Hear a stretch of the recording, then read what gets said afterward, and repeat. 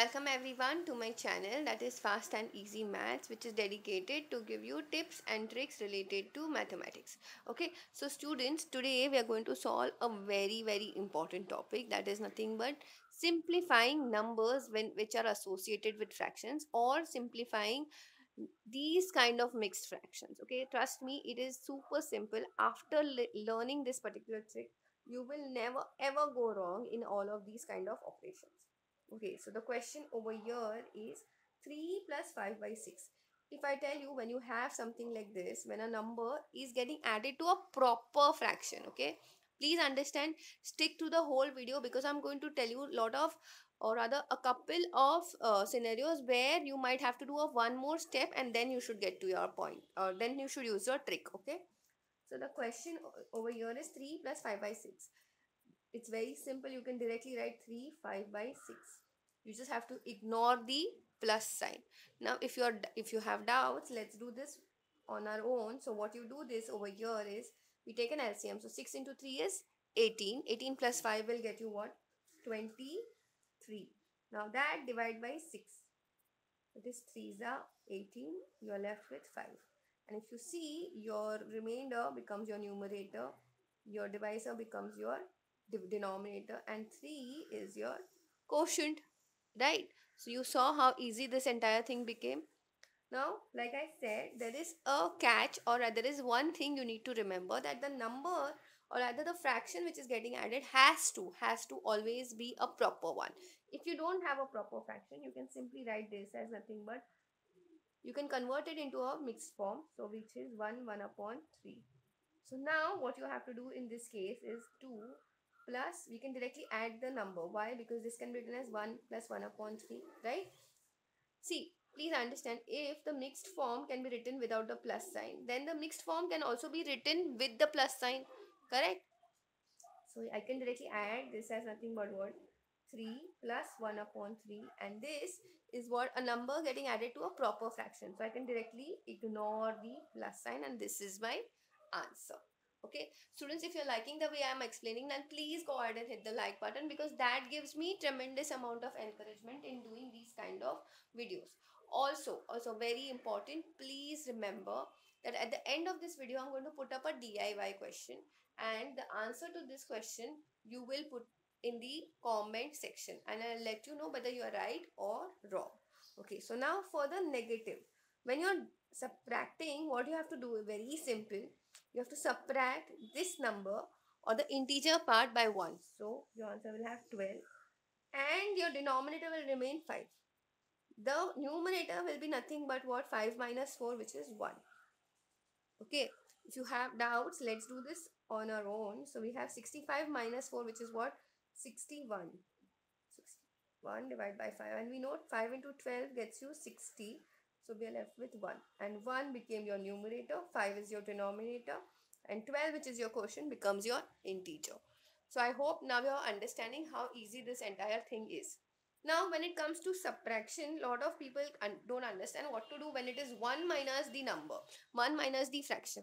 Then in that case, you don't have to reduce this, you just have to ignore this and take the difference. So difference is 1 4 minus 5 is again 1 and 1 upon 5. So the answer to this one is just 1 upon 5. Okay. Now before beginning with this very complicated kind of questions, I will just do one more. So if we have 12 minus 5 and 2 upon 9. Please understand this can be written as so here we will have minus 5 plus 2 upon 9. Please remember we will have a minus sign outside and this mixed fraction will always be written as 5 plus 2 upon 9 okay so then this will be minus 5 minus 2 upon 9 why am i saying this is because this is going to be helpful when it comes to solving these kind of questions where there is a minus sign involved. Okay so this will be now what? 7 and 2 9 minus 2 is going to get you 7 upon 9 so that is your answer. So now coming to this one over here, since there is less of space, let's do this over here. We'll first write all of these integers first. Okay, so we have 5 plus 3 minus 7 plus 4 plus and let's write this in bracket. We have 1 upon 6 plus 3 upon 4 Now please understand there is a fraction which has a negative sign and we understood when we have a negative mixed fraction the sign associated with the fraction over here also becomes negative. So this will be minus 1 upon 2 plus 1 upon 3. Okay, so now 5 plus 3 is 8 minus 7 is 1 plus 4 is going to get you 5 plus now this here what should be your LCM your LCM should be 12 because that is a number which is coming in each of these tables. So this will get multiplied by 2 and this will also get multiplied by 2 make it 12 okay?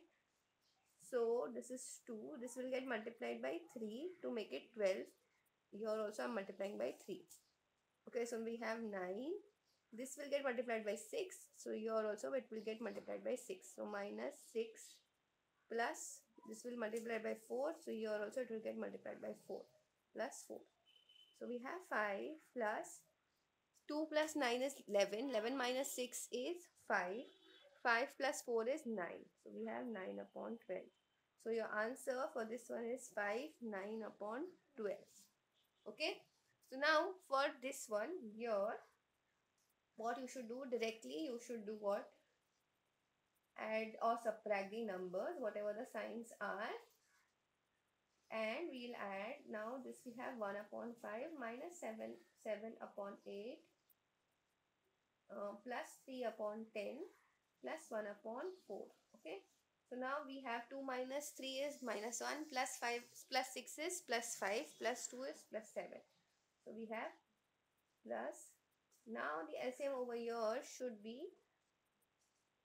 80 uh, sorry 40 because that is the number which is coming in each of these tables. So this will get multiplied by 8 so this will also get multiplied by 8 this will get multiplied by 5 so this will also get multiplied by 5 this will get multiplied by 4 this will also get multiplied by 4 this is multiplying by 10 this will also get multiplied by 10 so we have 1 into 8 which is 8 minus 7 into 5 which is 35 plus 3 into 4 which is 12 plus 1 into 10 which is 10 okay? So now this is a very special scenario okay? why? Because here the answer for the numerator is coming out to be minus 5 upon 40 so here if you see this is what 2 8 and 10 12 is 20 plus 10 is going to get you 30 so th minus 35 plus 10 30 is going to get you minus 5 so now in this case, please understand you cannot write your answers in a negative fraction. Okay. So in that case, what we can do is we can split this. We can write this 6 plus 1 minus 5 upon 40. So we know that 1 minus 5 upon 40. Let's try, try to solve this first. So we know that whenever you have something like this, we can directly take the difference. So we have 6 plus 35 upon 40. So your final answer will be 635 upon 40. So I hope you understood this particular uh, trick and this particular scenario as well. This is the only scenario where people get stuck. So I've covered that as well.